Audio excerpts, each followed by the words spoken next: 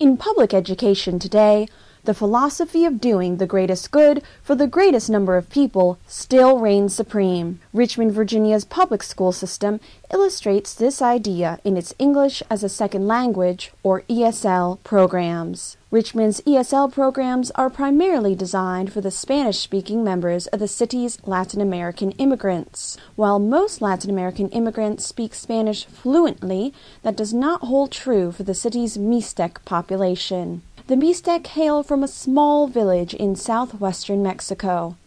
As descendants of Mexico's indigenous inhabitants rather than its European settlers, the Mixtec have their own language distinct from Spanish, which is spoken by over half a million people in Mexico. But the number among Richmond's community is about 1,000. Father Shea Auerbach of Sacred Heart Church, where most of the Richmond Mixtec attend Mass, said that the community's command of Spanish is limited. In addition, he said, many do not know how to write in Mixtec either. Unfortunately for them, Richmond's ESL programs offer translations of documents and announcements in Spanish for parents, but usually no other languages.